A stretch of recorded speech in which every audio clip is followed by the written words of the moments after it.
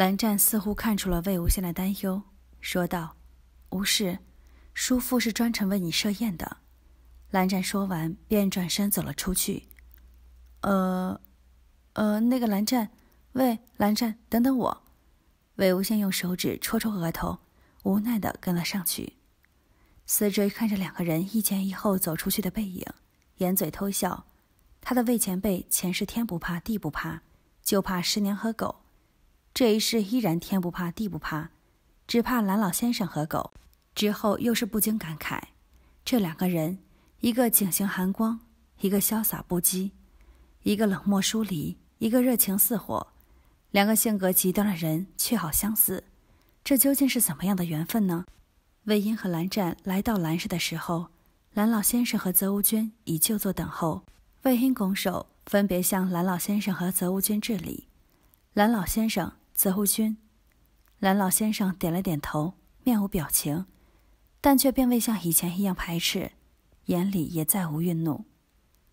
泽无君笑着招呼魏婴：“魏公子，快坐下，回来便好。”魏无羡点头微笑，随即转头看了一眼蓝湛，便在蓝湛的身边坐下。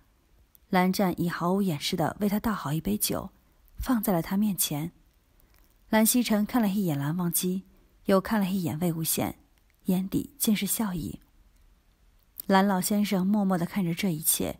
不禁叹了一口气，说道：“我姥姥，魏婴。既然你与忘机志同道合，以后匡扶天下的责任就靠你们了。以前的诸多误会，希望你不要挂在心上。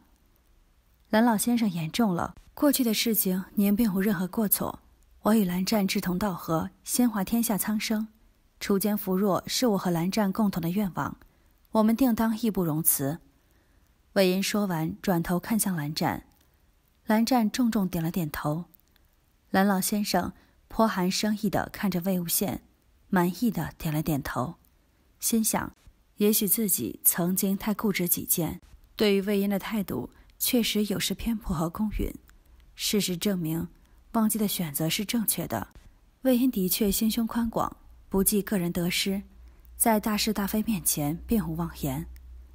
泽无君欣慰地看着魏婴，轻声说道：“魏公子，听忘机说，此次北漠之行有意外的收获，重得金丹，也算是因祸得福。”泽无君此言不错，不过此次北漠入主中原的野心不可小觑。”魏无羡担忧地说道：“没错，魏公子可能还有所不知，聂宗主他身中石骨虫的毒，如今命在旦夕。”蓝曦臣不禁略感忧伤的说道：“聂怀桑。”魏无羡诧异的看了一眼蓝曦臣，转而望着蓝湛问道：“是，这就是我还未对你说的事情。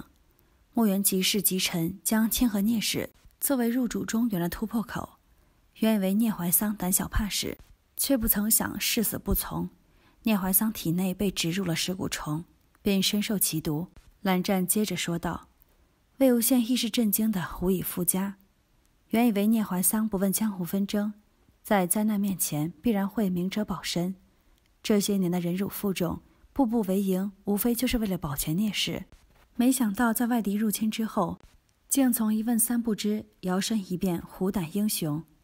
魏无羡不禁想起了在观音庙时聂怀桑说的那句话：“谁又真的了解谁？”是啊，谁又真的了解谁？若非逼不得已，谁又愿玩弄权术、心机算计？要说这一世没有聂怀桑的权术谋略，我又何以能站在这云深不知处品酒赏莲？魏无羡不禁感慨道：“聂怀桑，聂宗主现在身在何处？”魏无羡看着泽无君问道：“韩氏。”泽无君说道：“那就劳烦泽无君带我去看看。”魏无羡说道：“好，魏公子请。”泽无君说道：“好。”魏无羡说道，转身看向蓝老先生，拱手致礼说道：“蓝老先生，魏婴先告退。”魏无羡等三人来到韩氏时，便看见了昏迷不醒的聂怀桑。魏无羡上前，只见聂怀桑全身青紫，指甲和嘴唇呈汗紫色，显然是中毒太深。魏无羡沉默了一会儿，随即说道：“聂兄此次凶多吉少，恐怕……”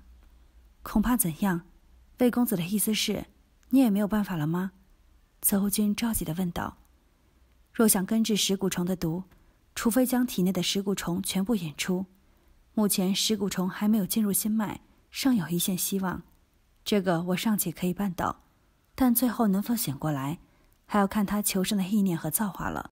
那便烦请一事，劳烦魏公子了。泽侯君双手敬上。泽侯君不必如此。不管怎样，能够重活这一世，也少不了聂兄的运筹帷幄。魏无羡感慨地说道。随即，魏无羡拿出陈情，一举归尘，悠远流长。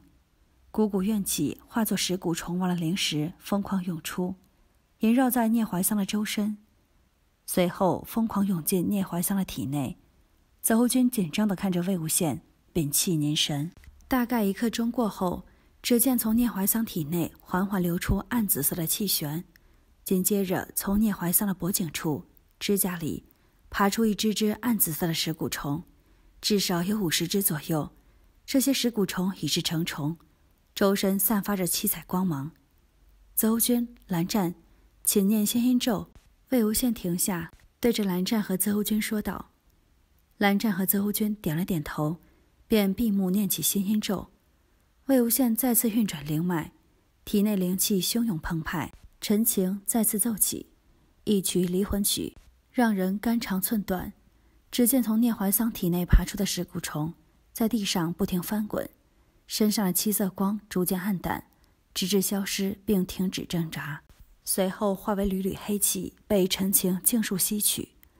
魏无羡停止吹奏，缓缓睁开眼睛，说道：“聂宗主体内的食蛊虫已净除，接下来就要看他自己的意志力了。”侧胡娟点点头，转身走向床前。看着聂怀桑，全身已不再是暗紫色，指甲也从暗紫色变成了淡紫色。慈护君心中暗暗念叨：“大哥，你若在天有灵，便保佑怀桑逢凶化吉，早日醒来。”蓝湛赶紧上去扶住魏无羡，担忧的说道：“魏婴，你感觉怎么样？”魏无羡笑笑看着蓝湛，说道：“蓝湛，别担心，我没事儿。”蓝湛点了点头。退了蓝湛，那吉臣呢？魏无羡问道。那日我们刚要起身回姑苏，一个蒙面杀手深入聂氏地牢，救走了他。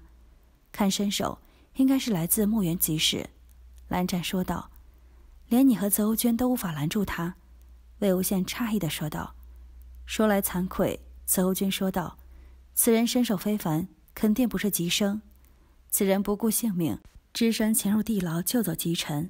说明吉臣肯定是他非常重要之人，能从韩光君和泽欧君手中安然逃脱，武功造诣必在吉臣和吉生之上。魏无羡冷静地分析道：“魏公子所言不错，此人不但武功高深莫测，制造的幻境亦是非驱魔音能破。看来此人的幻音造诣已是登峰造极。”泽侯君担忧地说道。魏无羡想了想，他身在北漠已有半载。却未曾听闻北漠集市有此等高手，可是能将石骨虫王禁锢地牢数十年，又岂是等闲之辈能够做到？魏无羡突然想到一个人，随即看向蓝湛和泽乌君，说道：“莫非是他？你怀疑是何人？”蓝湛问道。“牧原集市现任家主，也是吉臣的父亲吉勋。”魏无羡严肃地说道。